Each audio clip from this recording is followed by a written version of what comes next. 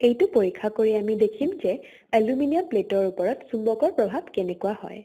প্ৰথমতে এটা steel washer লোৱা চোৱা ৱাশ্বাৰ ষ্টীলৰ কেঁচিৰ ওপৰত লাগি নধৰে।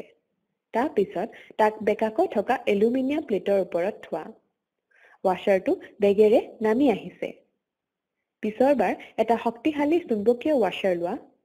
এইটো ৱাশ্বাৰ কিন্তু কেঁচিৰ লগত লাগি ধৰিছে।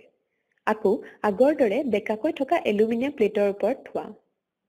চুম্বকীয় ৱাশ্বাৰটো লাহে লাহেহে নামি আহিছে। ইয়াৰ কাৰণ হ'ল চুম্বকৰ কাৰণে এলুমিনিয়াম প্লেটত এডি কাৰেণ্টৰ সৃষ্টি হয়।